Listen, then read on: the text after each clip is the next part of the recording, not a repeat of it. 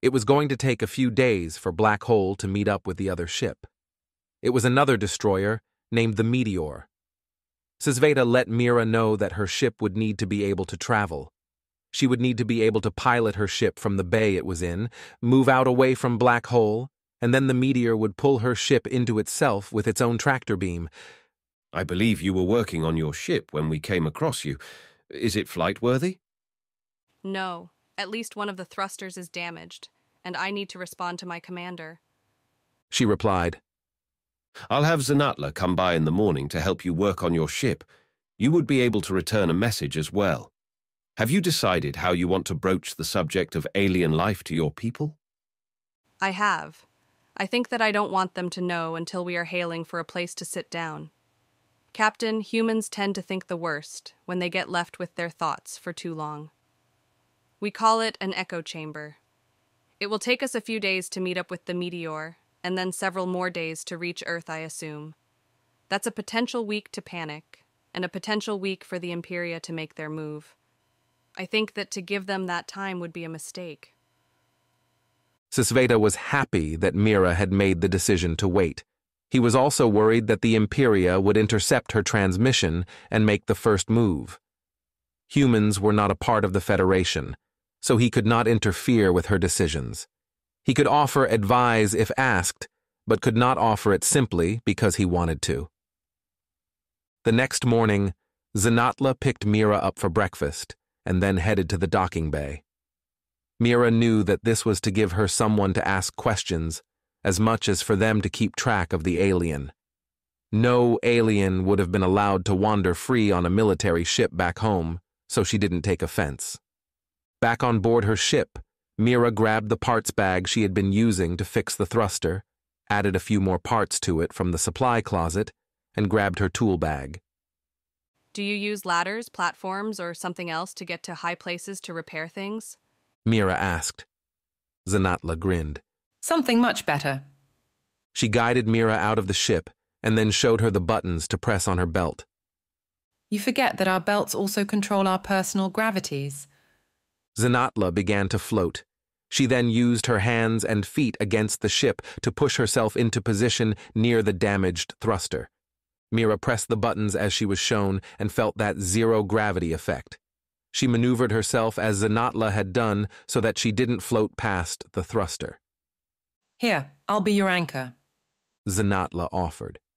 She undid a small piece from her belt and attached it to a spot on Mira's belt. She suddenly felt like Batman with his utility belt. It took a few hours to make the repair. Had Mira been doing it alone, she would have been done much faster, but having someone to talk to like this did not lend itself to efficiency. It wasn't like Mira had anywhere to go, so taking longer to do the repair didn't bother her. Once finished, they used the ship to crawl back down closer to the floor, and Z'natla showed her how to go back to her own gravity and drop down to the bay floor. Mira envied Z'natla her tail. It clearly helped the skeet with balance. Once inside the ship, Mira ran another system scan. Everything came back clear. I should be good. You should still do a test hover, as well as a movement check. This bay is large enough and your craft small enough that it could be done. I will go inform the captain of the test. Before Mira could say anything, she was gone. It was only a few minutes before she returned. Captain Esisveta has given his permission. He would have been notified of such movements, and it is not good to make your captain worry. Right, right. Mira turned to the controls and contemplated them. Technically, she could fly this ship. Technically, a 12 year old can drive a car. It's just not in your best interest to be anywhere near them if they do. You haven't piloted this before, have you? No, I've seen it done, and if we were out in space, I wouldn't be worried. Mira replied. Then it is good you have me. I have test piloted many smaller vessels such as this after repairs. You will need to translate the words on the controls, but I don't see this as being too difficult. Her tail seemed to wave in what Mira translated as excitement. As she set the ship up to power up, she explained what she was doing. This part Mira understood, but it was still nice to hear it from another perspective. Z'natla had the craft lift to hover, had it turn, moved it forward, had it turn the opposite way, and then move back to the spot it had been in. She then tried a reverse, moved it back to the starting position, and then set it back down. The control felt a little clunky to me. Did it feel normal to you? Yeah, it felt normal. Thanks for showing me. I'll need to be able to move this out of the docking bay and into space, and I'd like to not cause damage while doing that. I can set you up with a simulator. Creating the program won't be that difficult. I would be able to utilize parts of simulation programs already available and then just match the controls to what is here. You would just need to ensure you add your written language to the translator, so you will see your words instead of my words on the screen.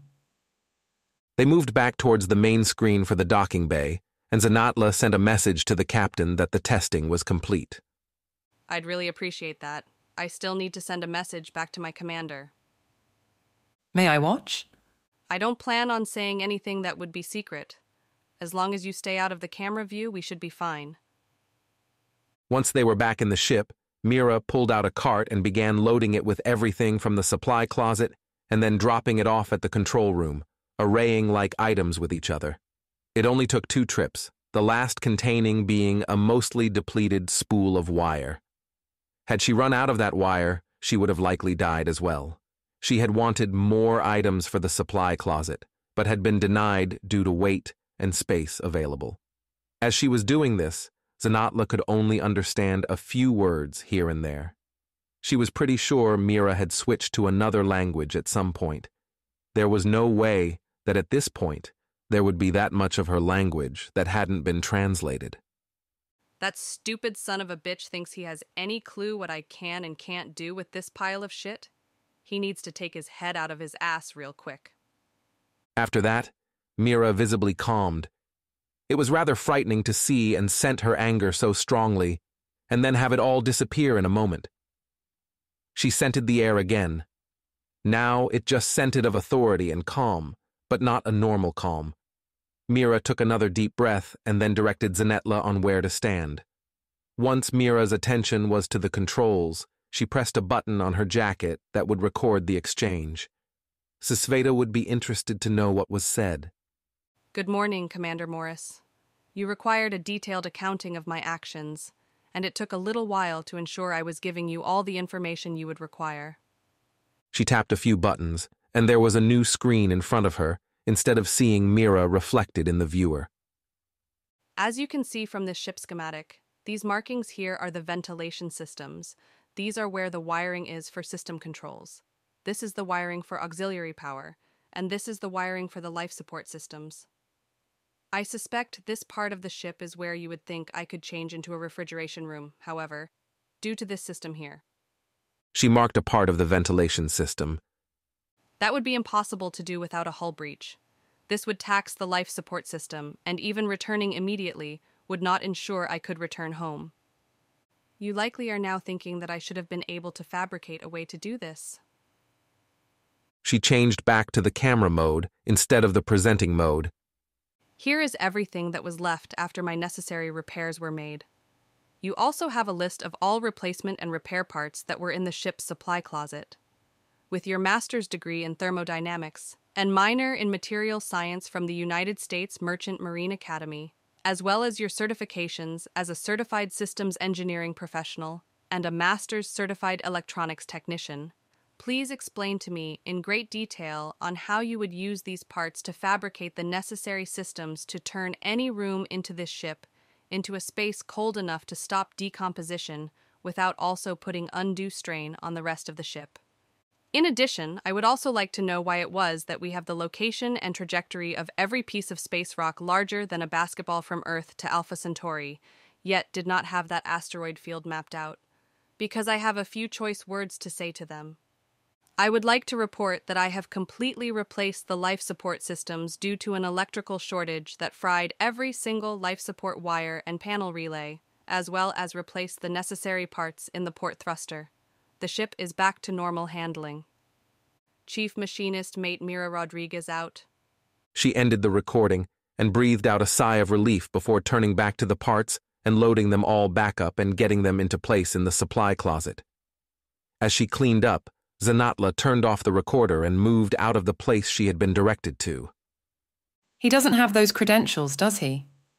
Mira chuckled. No, his credentials would be in a very different field. I can't remember what they are at the moment, but I do know it wasn't in engineering. Soon enough, everything was packed up. He'll probably send for a disciplinary action on my return, but then he would also have to hand over the recording to prove it. My commanding officer and his superior both like me too much to do it blindly, considering they are both vastly more experienced than I am. It's possible they might have thought of something I didn't, but to be able to do it under duress and in the moment would be extremely unlikely. The additional parts I had requested would have probably been able to do it, though. It was my commanding officer that helped me to come up with the list in the first place. He was also unhappy. The additional parts had been denied. They called him paranoid, and he called them short sighted. I hear it was a beautiful argument. Z'natla chuckled. She also understood how different departments might not fully appreciate the more technical departments like hers until she came up with a miracle when it was suddenly needed. Captain Esesveda was a good captain, and Z'natla was thankful each year she was able to serve with him again. The next day, the simulator was ready, so Z'natla brought Mira to her own room in the ship. This room looked much more lived in. There was what looked like a glass-topped desk that faced the main screen. This is where she directed Mira to sit. Z'natla adjusted the desk, and Mira saw that it was a giant digital keyboard which soon took on images that looked much like the control panel of her ship. When she looked up, the main screen looked like it was in a bay. This is amazing. You did this in one night?